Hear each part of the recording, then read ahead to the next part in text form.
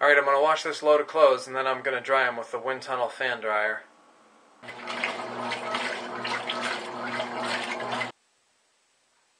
Okay, I got it all set up here. That's a pretty full load of laundry hanging up there.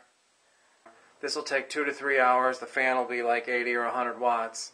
And I'm going to run it on the solar power here. So let me go ahead and show you here real quick.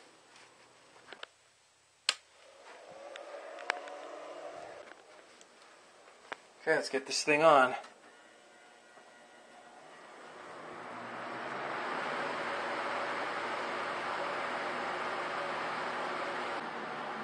So that's the basic setup right there.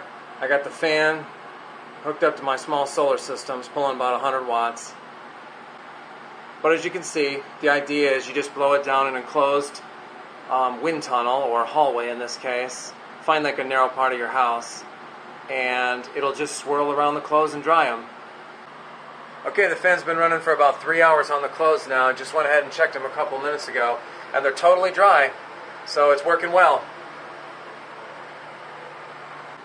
You can't quite see it, but the hall curves around to the right, goes into a small room, and I have the window back there opened. So all the humid air, moist and humid air, is just getting uh, drawn out the window. There's a really cool breeze blowing in here, so it's working great. This would be especially good to use in the summer because this would really cool off like a room. It's like an evaporative cooler right through the clothes.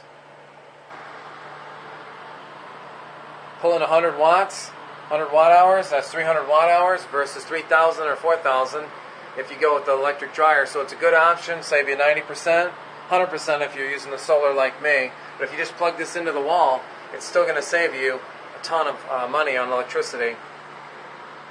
So good option for drying clothes.